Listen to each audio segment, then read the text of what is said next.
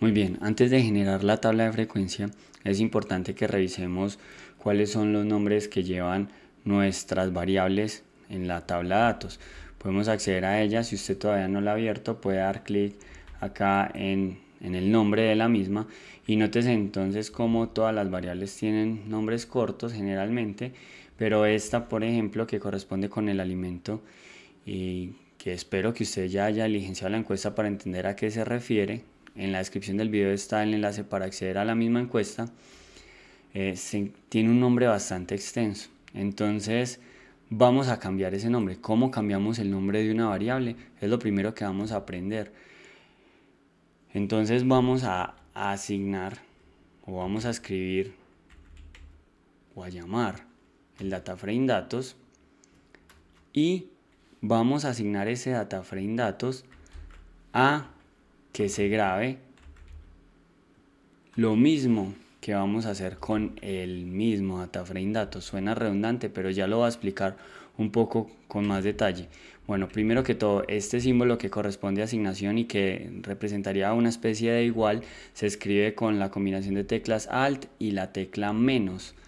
Los invito a que lo practiquen bastante, es muy útil y que además es importante eh, utilizar este signo de asignación antes de utilizar el igual o en contrario de utilizar el igual, puesto que cuando ya aprendamos un nivel o tomamos un nivel avanzado en RStudio, nos vamos a dar cuenta que para escribir funciones tener la diferencia entre el igual y el símbolo de asignación va a ser importante.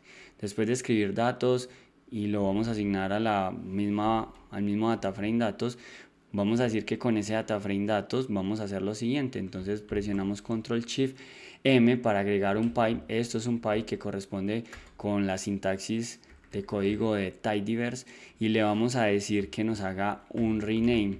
Un rename corresponde con renombrar la variable y le vamos a decir que a esa nueva variable la vamos a llamar alimento y a qué variable vamos a llamar alimento o cuál es la variable a la que le vamos a cambiar el nombre.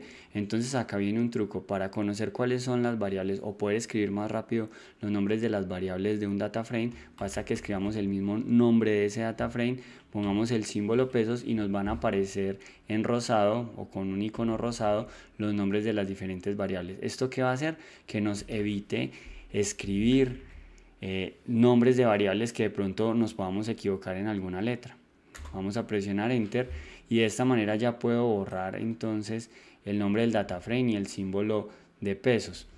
Si ejecutamos la línea posicionándonos al final de la misma, como pueden ver acá, y presionando la combinación de teclas Control más Enter o Control Enter mejor, vamos a notar que si accedemos al data frame ya el nombre de la variable ha cambiado. Después de ello, entonces vamos a hacer nuestro, nuestra primera tabla de frecuencia.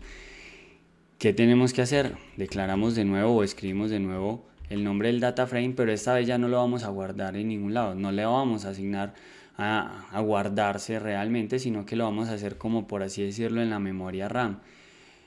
Escribimos de nuevo el pipe y ahorita vamos a hacer un conteo. ¿Con qué función? Con la función count. ¿Y de qué variable? De la variable alimento. Nótese que incluso cuando lo vamos escribiendo, espero que usted lo esté haciendo, el mismo RStudio o el RMarkdown nos sugiere el nombre de la variable o el nombre de otras funciones que empiezan con ese inicio de texto.